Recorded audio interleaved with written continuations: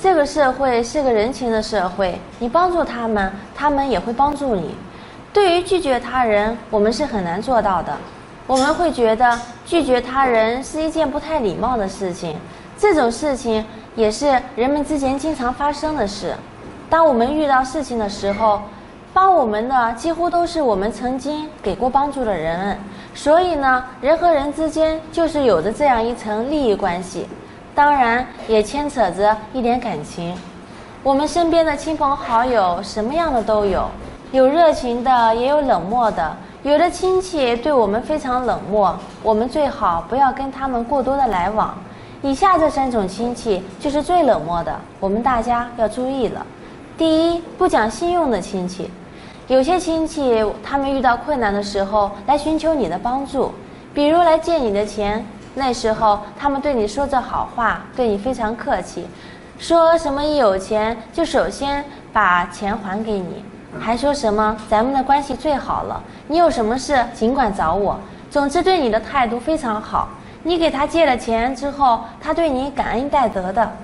可是到了后来，他有钱了，那时候他根本就不会想着把钱还给你，对你的态度跟之前相反，很冷漠。这种亲戚他根本就不讲情，非常寒心，所以大家最好少跟这种亲戚来往。第二，嫌贫爱富的亲戚。有些亲戚就比较势利眼，嫌贫爱富，只爱金钱与权力，不讲感情，以利益为重。如果你家里比较发达，他就跟你凑近乎，高攀你，经常来你家，说什么你遇到事情就找他，还说什么咱们关系那么好，就得互相帮助。相反，如果你家里不怎么富裕，那他们就会瞧不起你，和你的关系保持很僵。你遇到困难，他们也不帮你，和你撇得很清。所以这种亲戚，大家最好不要跟他们来往。